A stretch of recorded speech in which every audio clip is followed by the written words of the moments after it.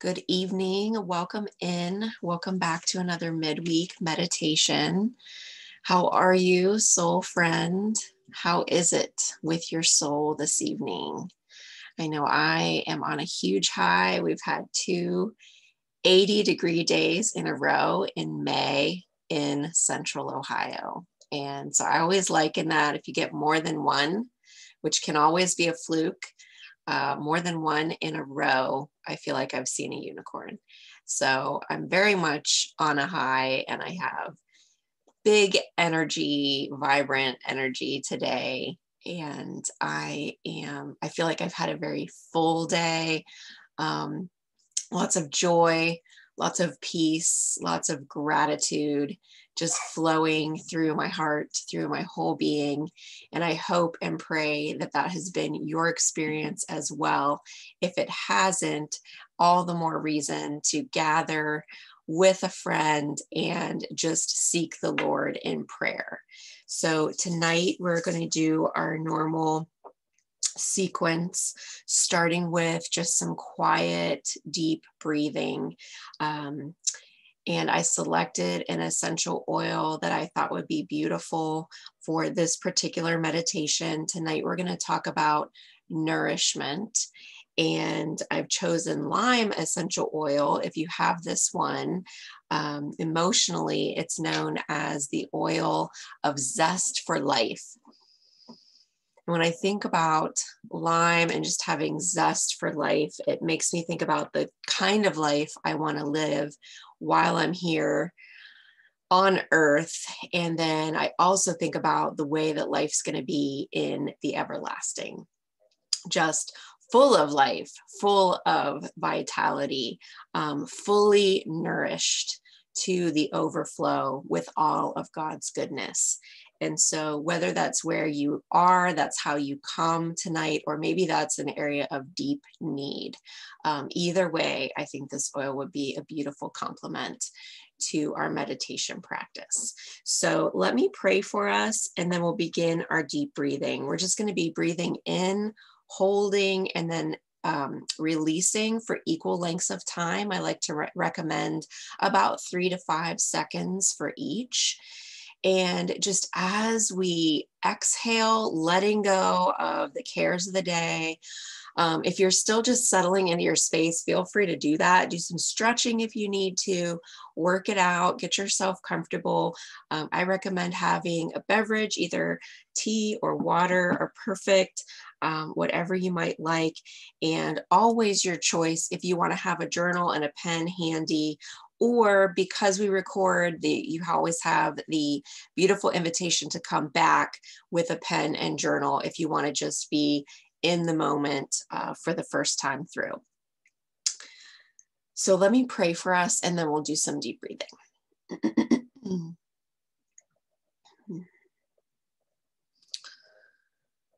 Holy spirit we just invite you into this space we thank you, Lord, that when two or three are gathered in your name, you are in our midst. Help us to feel your presence this evening. Fill us to the full and to overflowing with your spirit, with your gifts of, light, of life and light and love. Help us to release as we exhale anything that's no longer serving us. And with each inhale, Lord, help us to breathe in more and more of you.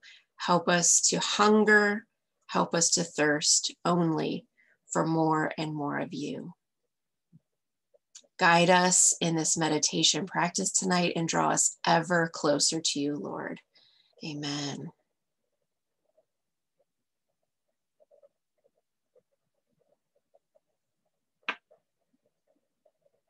Mm.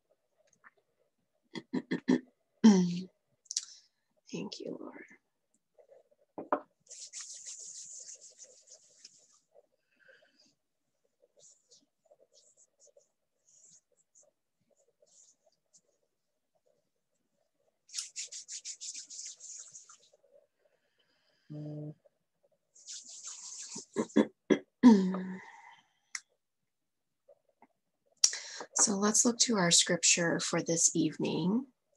I'm going to be reading from John 6 35. then I'll go over to the poem that I have for tonight. I will read that through twice, and then I'll come back to our scripture.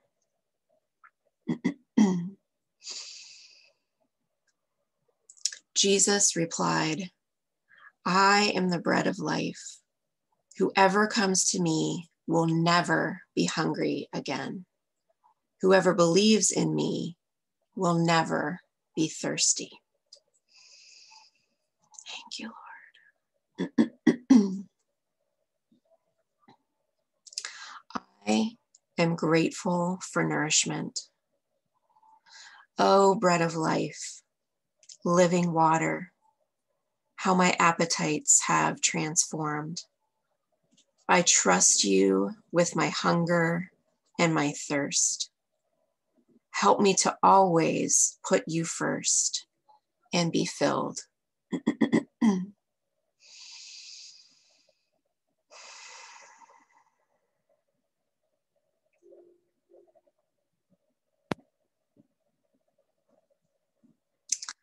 I am grateful for nourishment. Oh, bread of life, living water, how my appetites have transformed. I trust you with my hunger and my thirst. Help me to always put you first and be filled.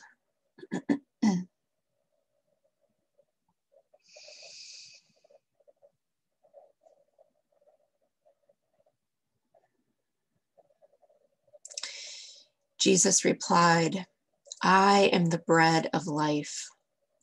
Whoever comes to me will never be hungry again. Whoever believes in me will never be thirsty. This is John 6:35 and this is the word of the Lord.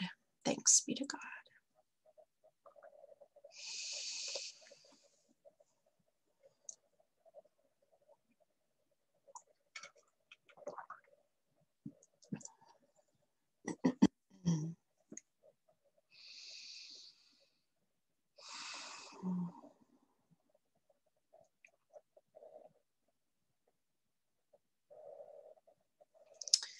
We'll begin with several questions to guide us through the meditation portion.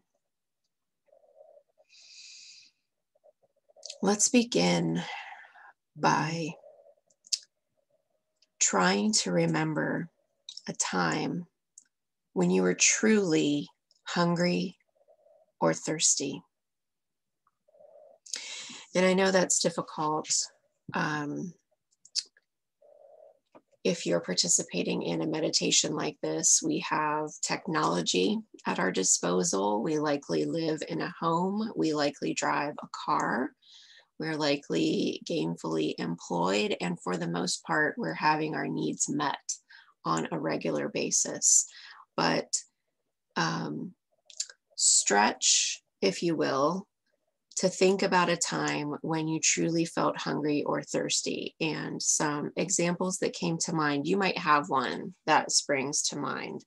Um, but I recalled a couple of times when I've either been locked out of my house or uh, on the side of the road with a broken down car and just feeling a moment of distress and just wondering where will my help come from? Um, when will relief come to me? And so let's just remember what it feels like to be in a space like that and um, lean in to the Lord and envision his rescue of us.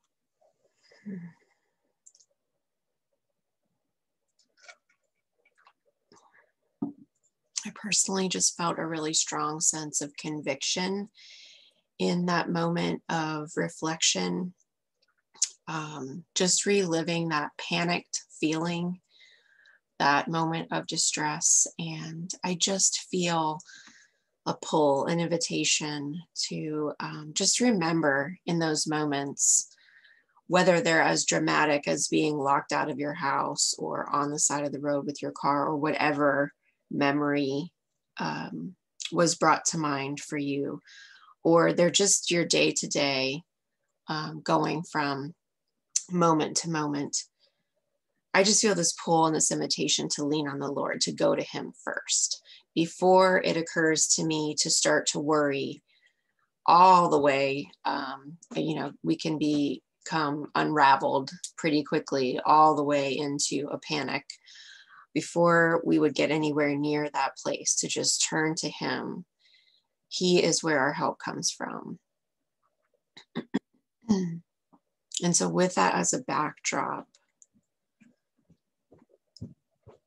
let's consider and confess. What are you craving in this season of life?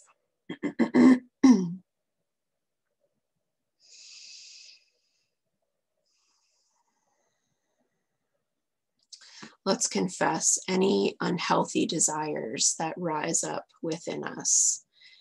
Maybe it has to do specifically with foods. Um, I tend to crave salty things and sweet things. I like both.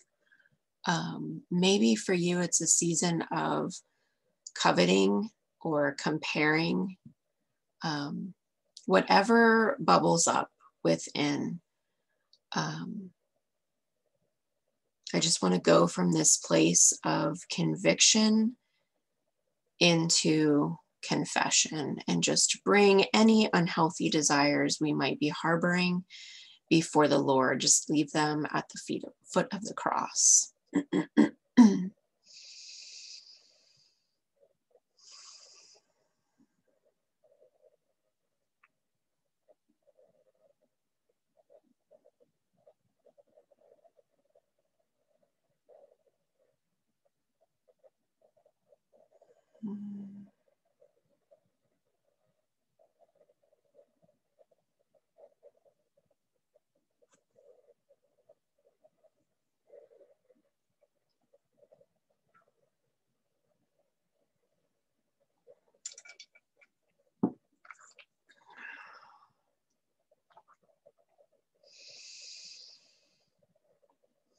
Thank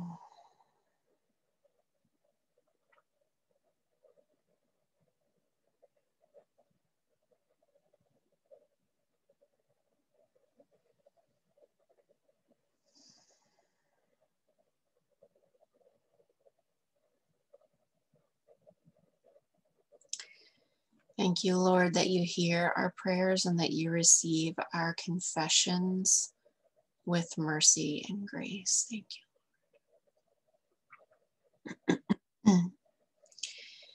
And now let's express something that we might desire instead, something life giving, something way more satisfying than that unhealthy thing that we might have been craving. Um, this could be a healthy food, it could be good rest, purity, integrity, um, healthy, regular movement, exercise, um, healthy relationship with money, the desire to save money versus spend. Lord, we just invite you in to transform our appetites, and we pray that you would increase our hunger and thirst for you and for those things that are of you, for those things that you have for us. Let's express our desires to the Lord for whatever healthy thing we want Him to grow in us.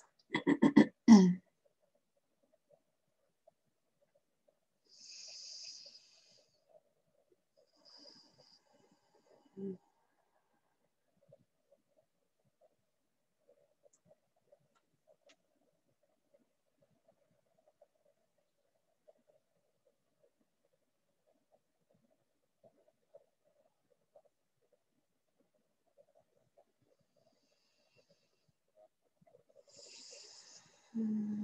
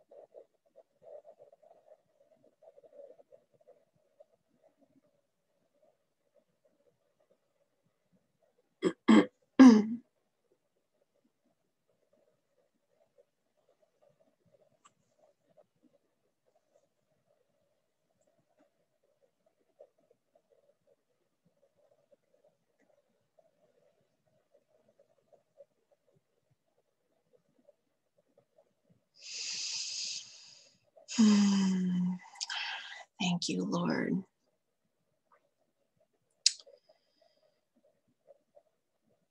And so now let's meditate on who God is.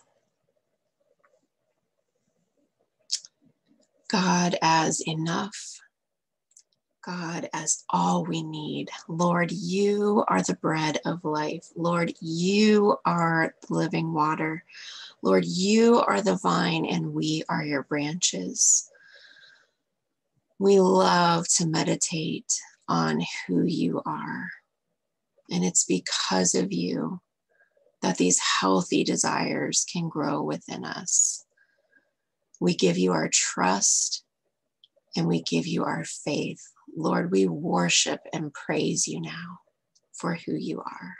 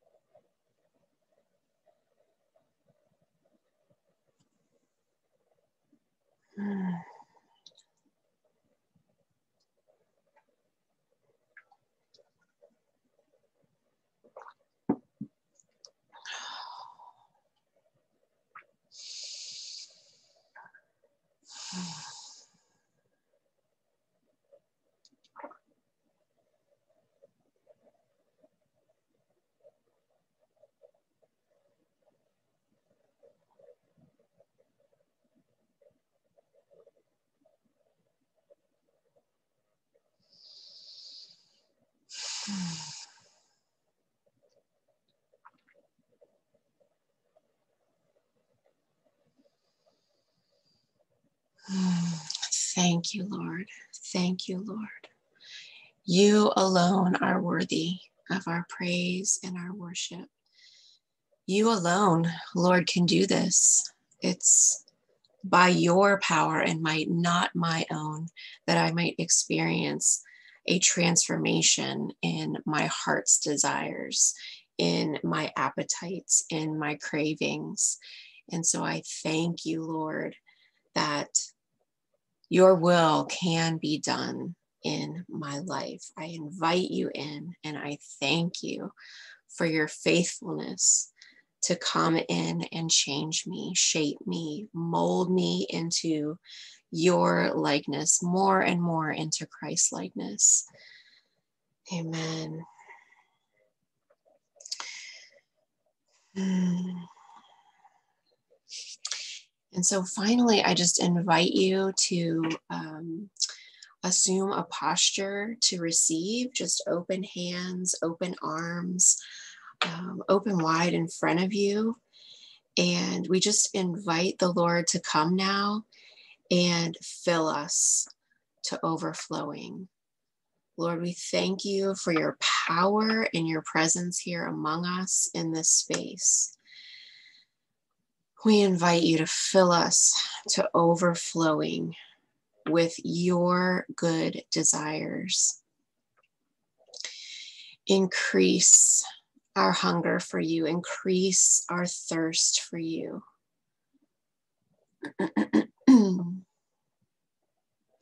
Fill us with all of your goodness that could never disappoint, that only satisfies.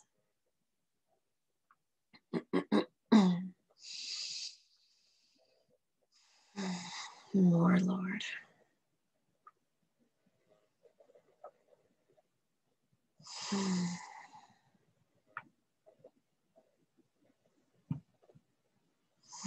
More, Lord.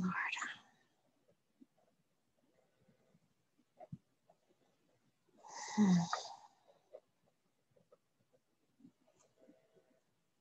Hmm.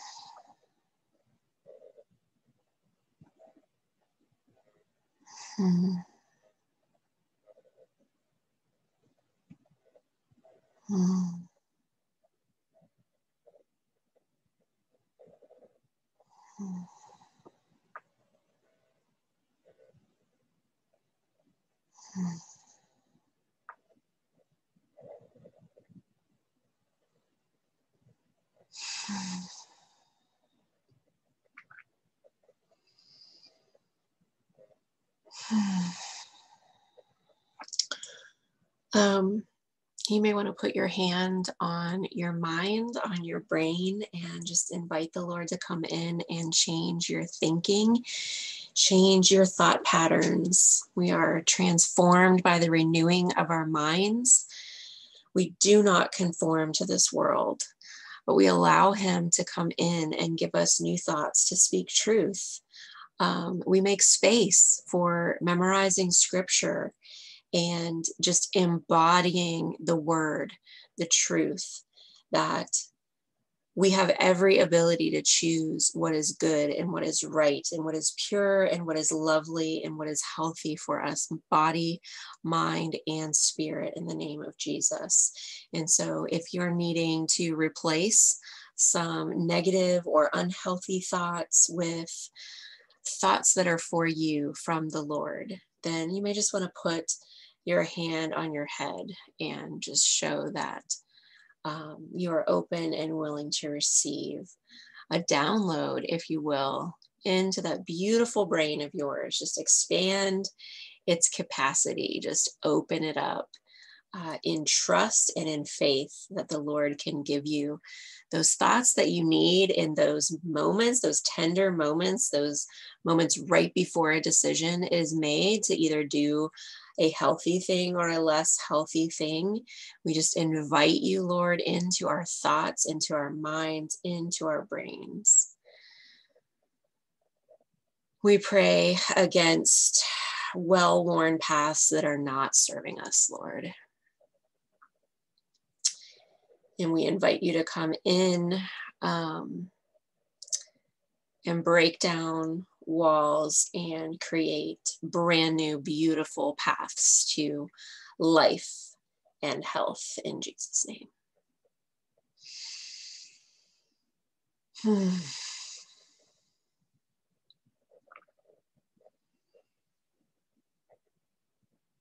Hmm.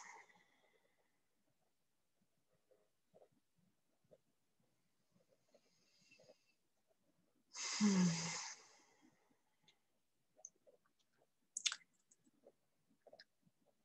you, Lord. Thank you, Lord. I really felt strongly that um, praying over our minds, our thoughts, our brains would be applicable to anyone um, praying with us. Um, but if you happen to be uh, asking the Lord to come in inside and fill you with regard to something very specific. Maybe it's physical appetites for food. Um, if there's any type of addiction, if you need to get off the couch and move more, um, if you're looking for more purity in your speech, whatever that may be, feel free to hit pause on this recording and lay hands on whatever physical part of the body that you just want to invite the Lord into specifically to. Um, just anoint with his favor, with his blessing, have him equip you, um, have him fill you to overflowing in those specific areas. Um, fulfilling your hunger and your thirst with more of Him. Thank you, Lord. Thank you, Lord. It's in Jesus' name that we pray. Amen. Amen. And so, as always, because these are med- because these meditations are recording, your first invitation is always to come back and re-listen and to just get more and more out of it. Um, your second invitation, these are for your week ahead, is um, to try something new. I'm going specifically with food in this example, um, just playing off the theme of nourishment and um, the different food imagery in the scripture and the poem.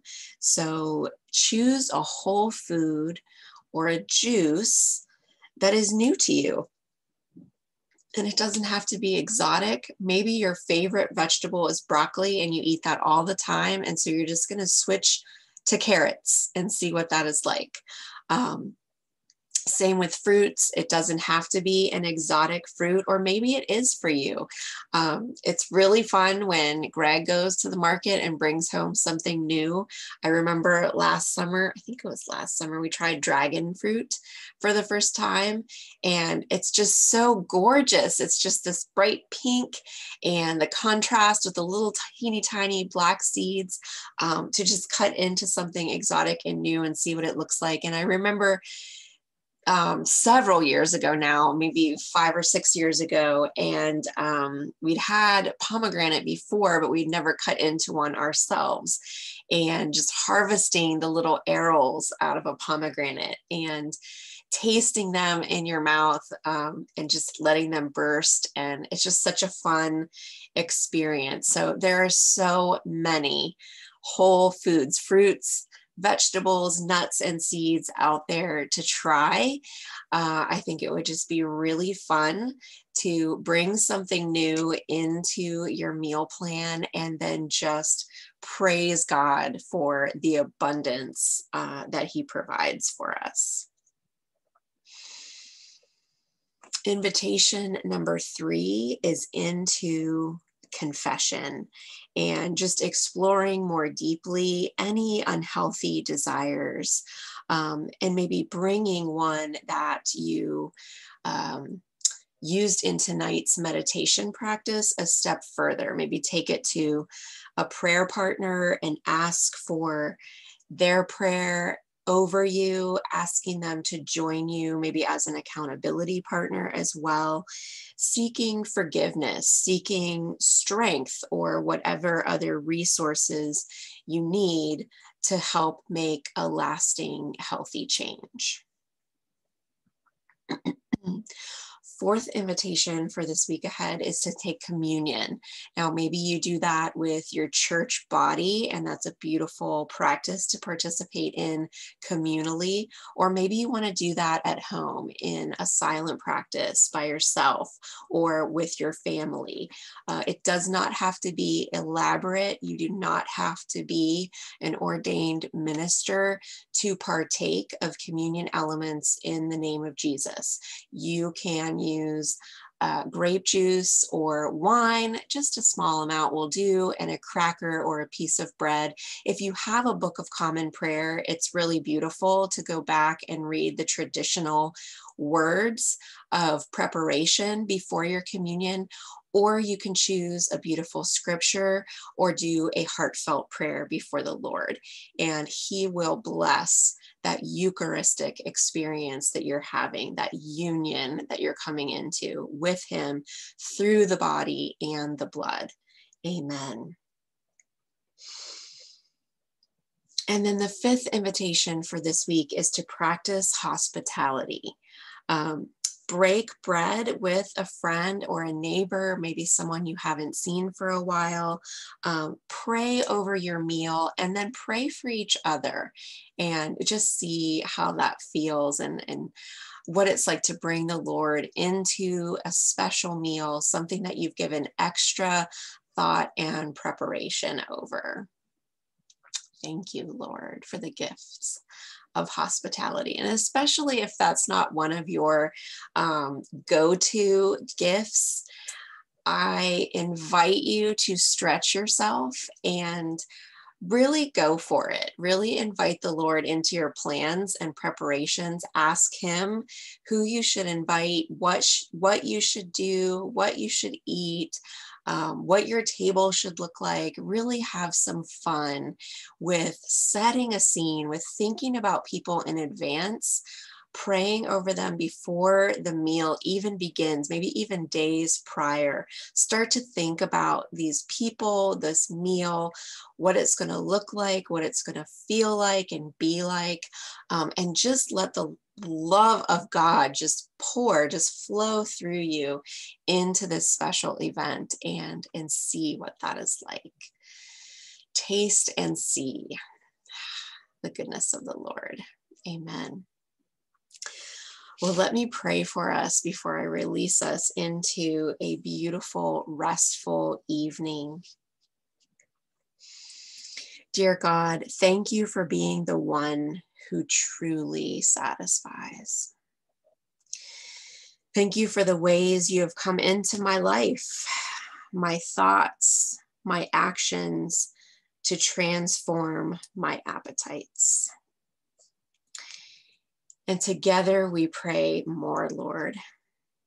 If we are hungry, help us to be hungry for more of you. If we are thirsty, help us to thirst for more of you. Help us to find all the sustenance, all the stamina we need by trusting you and receiving from your bounty. We pray that you would fill us each day to overflowing with your goodness so that we would be content not only to praise you and give you thanks, but also to share with others in the name of Jesus. Amen.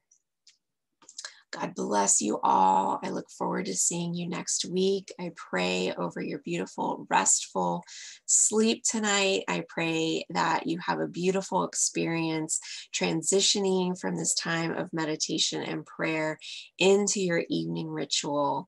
God bless you and your night. Amen. Love you all. Take care.